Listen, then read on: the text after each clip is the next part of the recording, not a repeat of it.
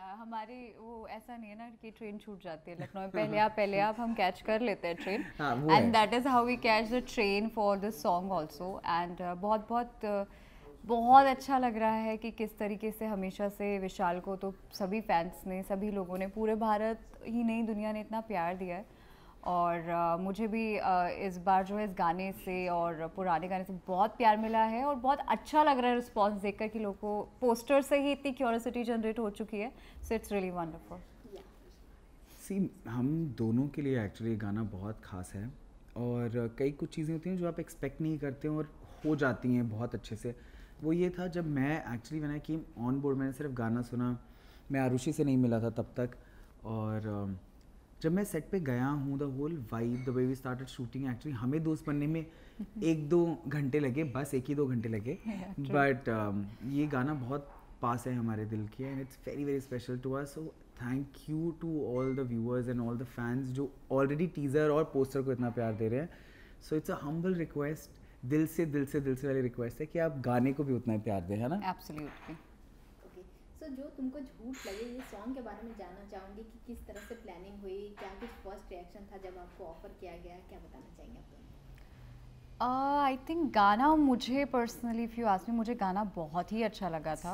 और जब ये गाने पर आगे बात होने लगी एंड पूरा सेटअप बनने लगा that who will be the co-actor way we going to shoot और जो मैंने उसके कुछ ग्लिम्सेस देखे थे जो फैज़ल ने प्लान किया था वो बहुत ब्यूटीफुल है। तो जब आप गाना देखेंगे तो it's a treat to your eyes क्योंकि इतने सुंदर सेट्स बनाए हैं उन्होंने।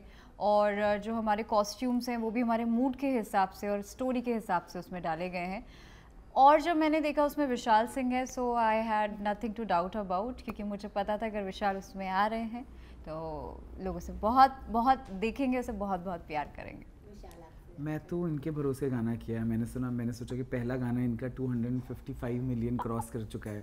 तो मुझे लगा अभी तक मेरा कोई गाना इतना बड़ा हिट नहीं हुआ है। तो शायद इन्हीं के भरोसे मेरे तो मुझे इनको ये गलत फहमी है। मुझे लगता है मैं इनकी नाव में सवार होकर जा रहा हूँ कि ये मुझे अपने वाले वो हंड्रेड मिलियन से ऊपर वाले क्लब में लेके जाएँगी।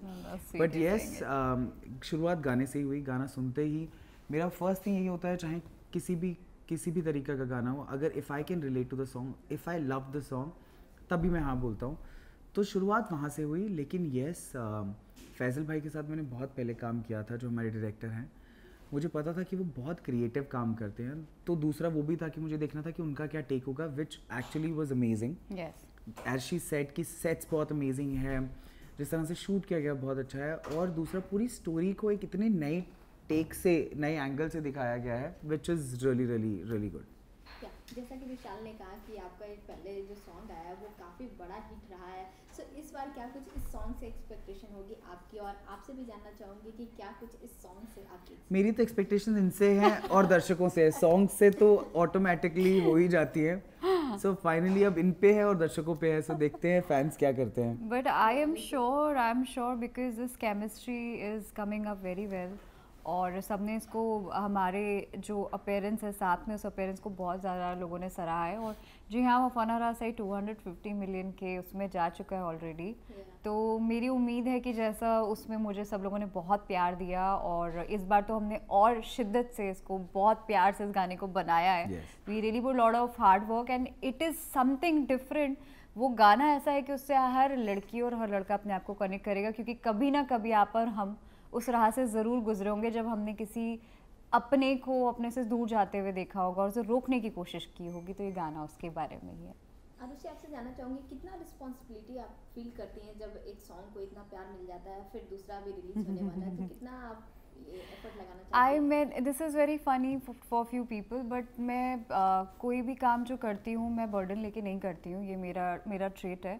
और मैंने जब वफानारा से किया था तभी भी मुझे नहीं पता था कि वो इतना बड़ा हिट हो जाएगा। और आई थिंक हम सभी को ठीक है आइडिया था होगा क्योंकि जुबिन है हिमांश है बट ये नहीं पता था कि हाँ इतना हिट हो जाएगा।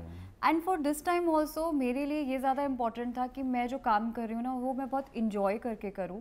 और जो मेरी परफॉर्मेंस है मेरी परफॉर्मेंस बहुत अच्छी हो तो मैं कभी किसी चीज़ को प्रेशर लेकर नहीं करती हूँ। This is this is me I I really really enjoyed working in this song So I'm sure result will be the same enjoying way.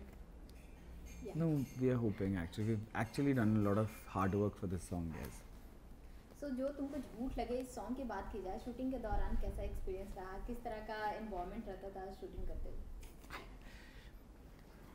मैं सेट पर पहुँच गया हूँ ये मैं आई थिंक अपनी हर इंटरव्यू में बोल रहा हूँ मुझे बड़ा मज़ा आता है बोलने में बहुत ही मज़ा आता है कि सेट पे पहुँचा हूँ ये सोच के कि अरे चलो शूट बहुत अच्छा हो गया है गाना बहुत अच्छा ये है वो है